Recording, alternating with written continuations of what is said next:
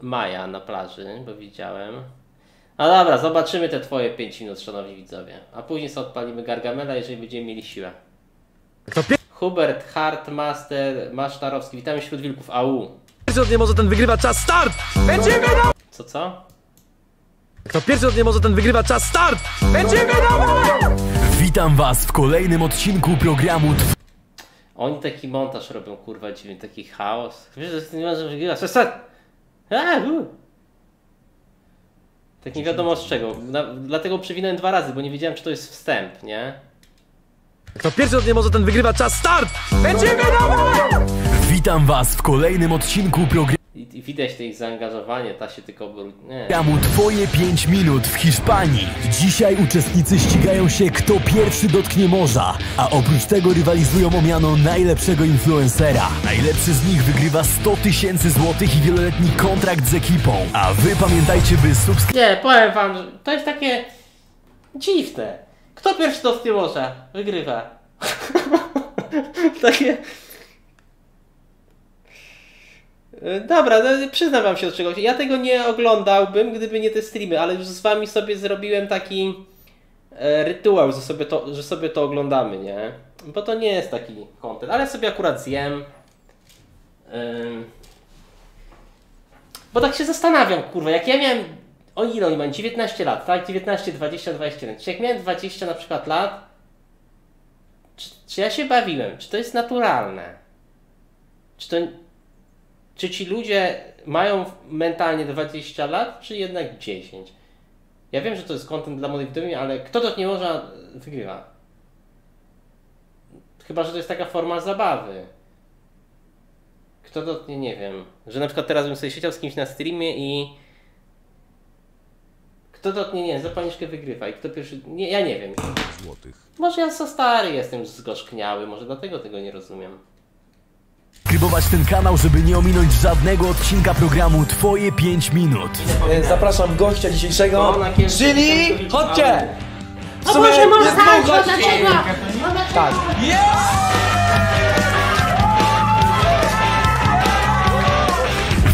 Kartoni Bochnak oraz Patryk Mortalcio Baran. 23-letnia influencerka i 23-letni youtuber dużą popularność zdobyli tworząc własną grupę influencerów, a po paru latach dołączając do przełomowego projektu Gen Z. Mortalcio jest też wielkim pasjonatem muzyki, którą regularnie tworzy, a Kartoni z wielkim sukcesem rozwinęła swój Instagram, gdzie jest obecnie najpopularniejsza z całego projektu Gen Z. O tych i wieloletni kontrakt z ekipą, a wy pamiętajcie W sumie jest dwóch gości! Tak. Jakub, witamy wśród wilków. Au! Co? Mortalcio i kartoni razem? A, bo to było już kiedyś nagrywane. O Boże, jak się łezka wokół kręci, jak się to ogląda. Jezu, jakbym chciał, żeby oni byli razem. Jakbym chciał, jak ja o tym marzę.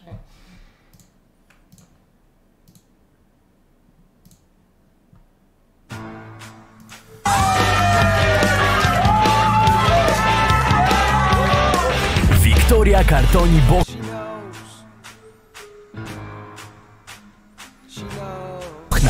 oraz Patryk Mortalcio Baran.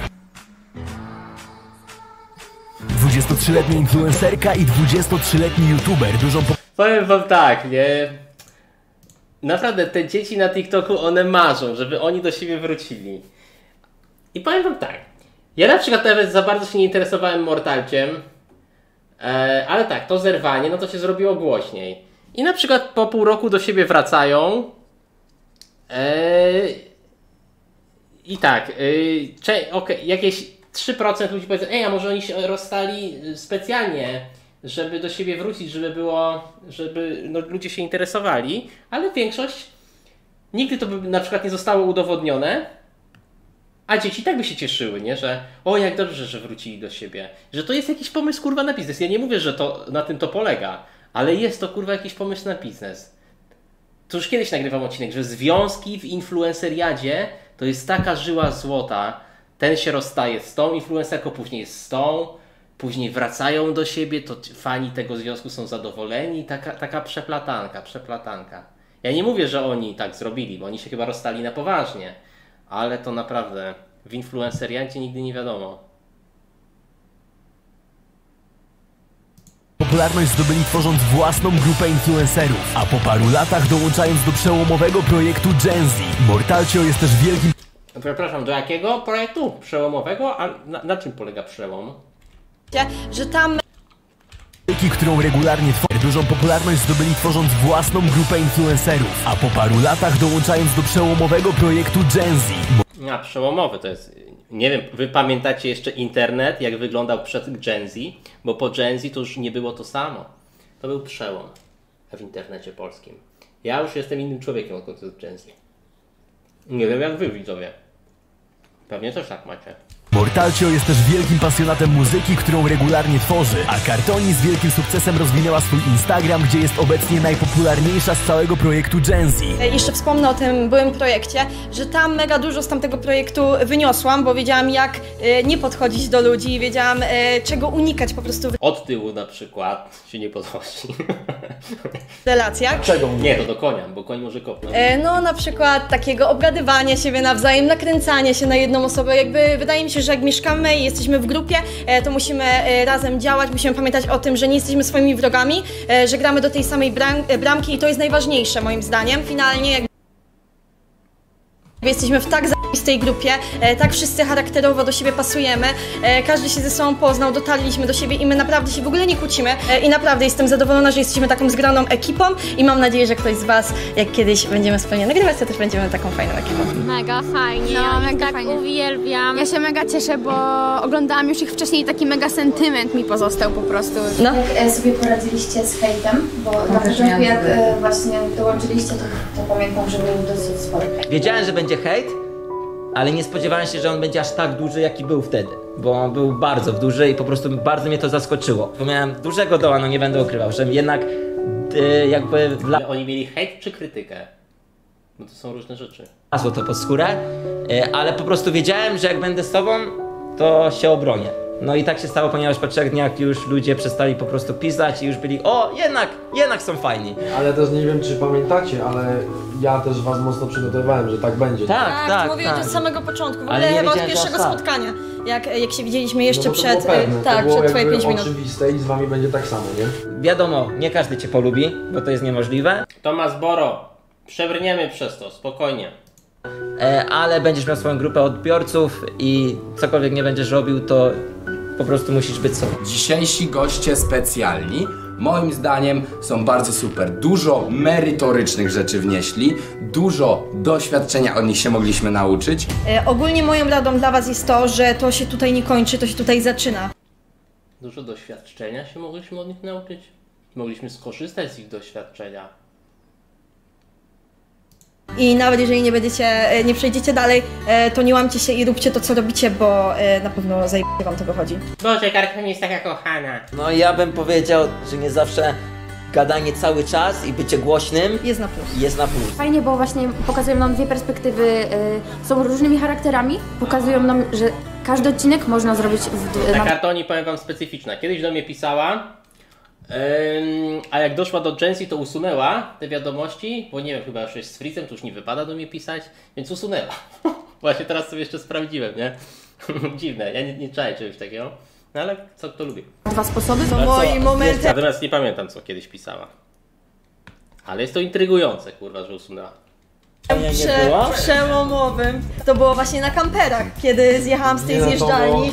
Moją taką radą e, dla Was to jest właśnie, żeby przełamywać się. To jest w ogóle najlepsza rada, jaką mogę Wam dać. Wiedziałam, że jak to zrobię, to że będę się czuła najlepiej na świecie. No i tak było.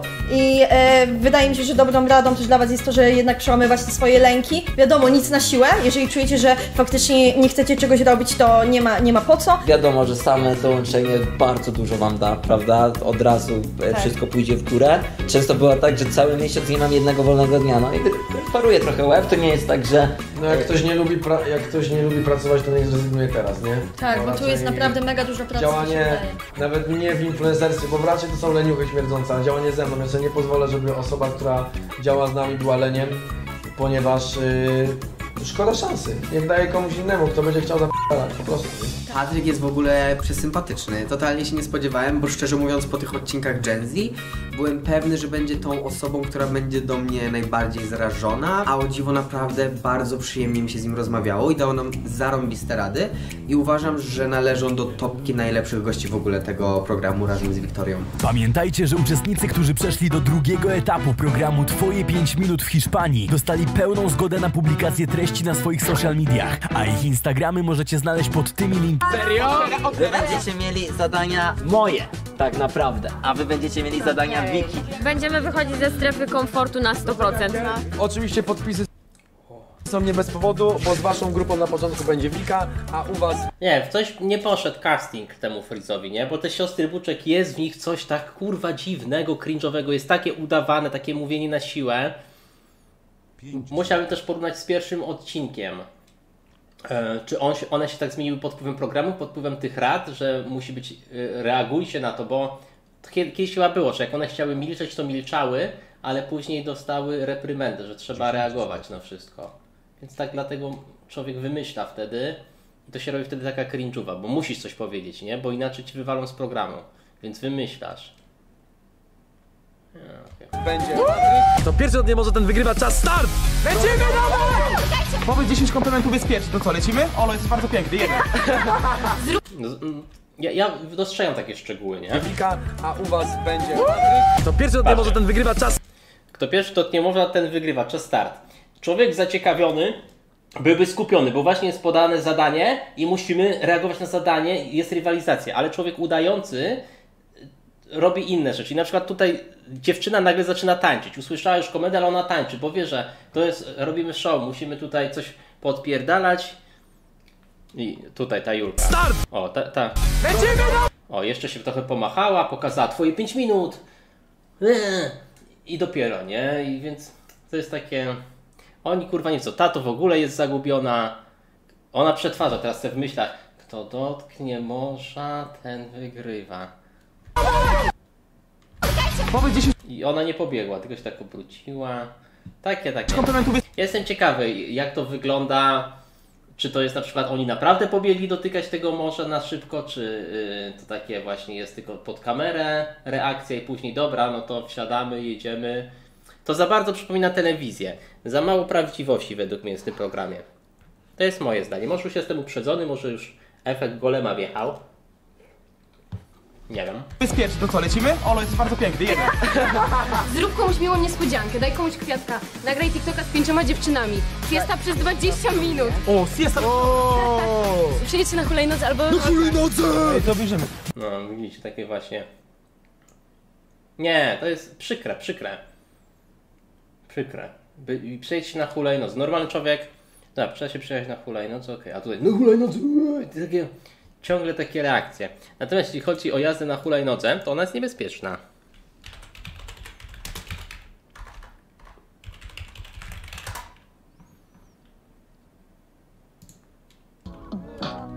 Marta Linkiewicz.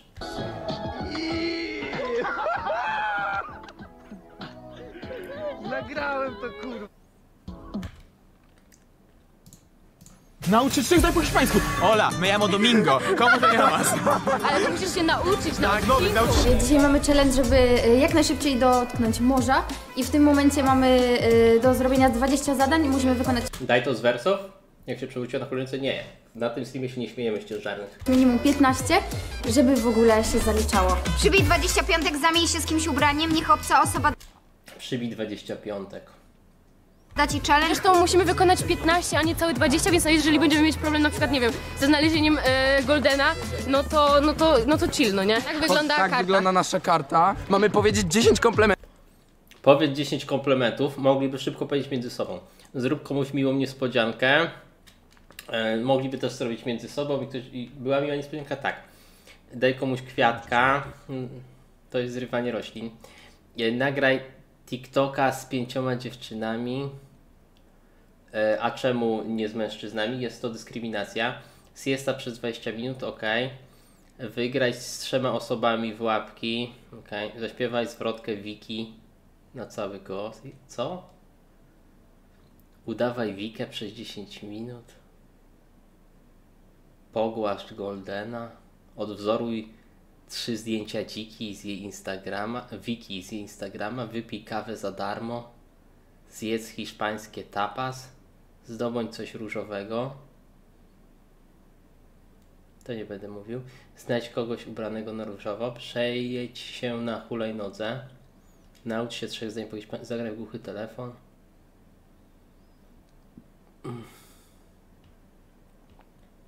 Ale nie mamy powiedziane, Ale kurwa, odcinek się, się szykuje i ja pierdolę. czy mamy je powiedzieć do randomowych